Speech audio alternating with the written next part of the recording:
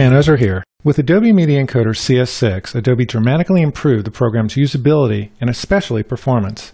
In this tutorial, I'll demonstrate all new features and provide a general overview of the operation of Adobe Media Encoder CS6. As an overview, Adobe Media Encoder, which you're looking at here, functions as an encoding engine for Premiere Pro and for After Effects, as well as a standalone encoder.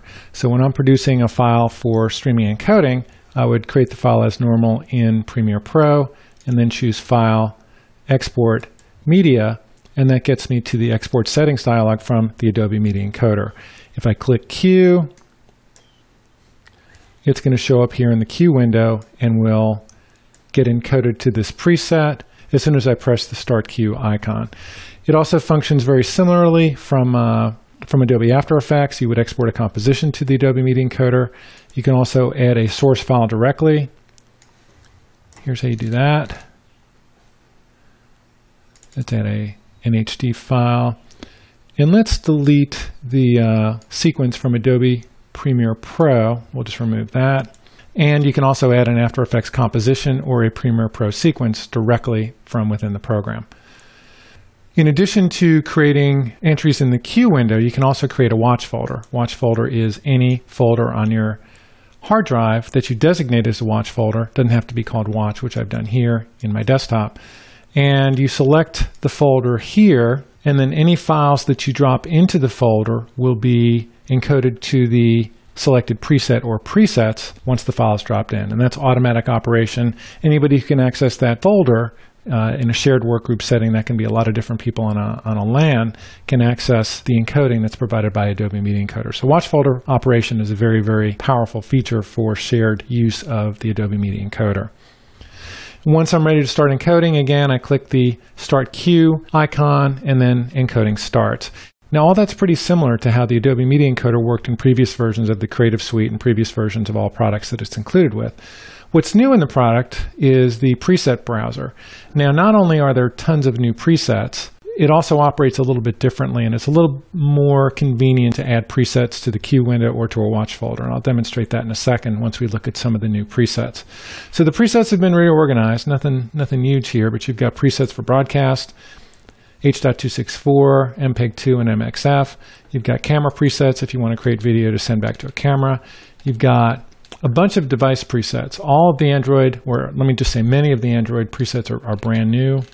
And Adobe's always done a pretty good job with Apple presets. I think they've added a few here. And you've also got presets for generic presets for mobile, tablets, and then TiVo. You've got DVD and Blu-ray presets. Blu-ray are H.264 and MPEG-2. DVD, of course, is just MPEG-2. You've got presets for image sequences. And then here are your web video presets. In, in uh, three main categories are Flash. Flash includes F4V, which is H.264, and FLV, which is VP6. And you've got a lot of presets for both Vimeo and YouTube. We're looking at the Mac version of the product. If you were looking at the Windows version, you should have presets for Windows Media Encoding as well. Those are the new presets and they're conveniently organized in the preset browser. The other cool thing you can do is you can load multiple presets at, at one time. So we've got these selected. Let me hold down the command key and then I drag those onto the test file. And we've got encoding for 75, 55, 35, and 45.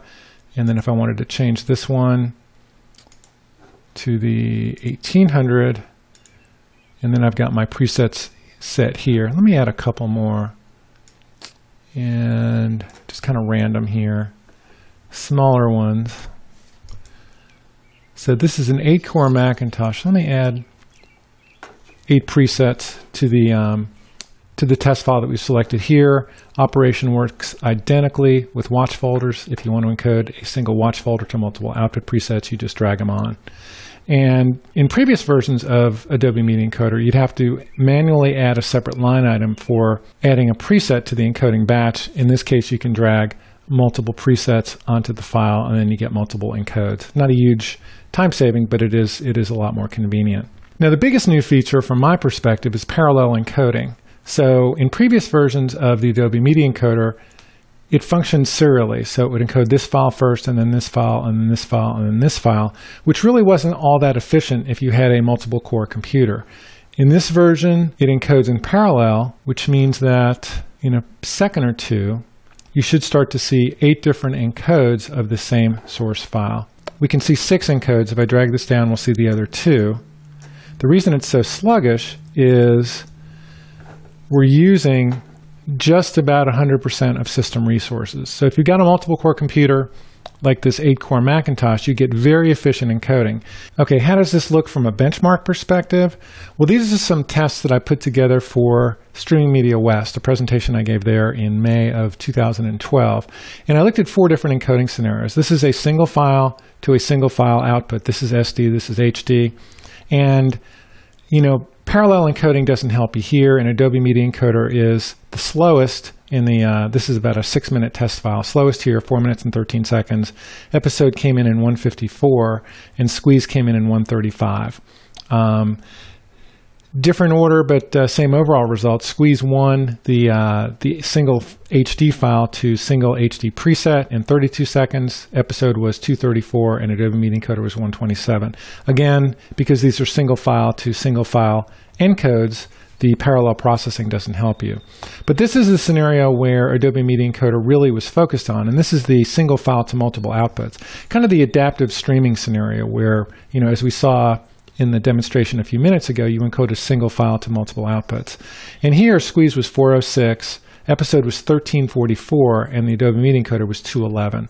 So this is the real sweet spot for the new encoding. And it's a very relevant sweet spot because a lot of producers are starting to encode a single source file to multiple outputs. And then this is the last scenario. This is eight files all to a single output.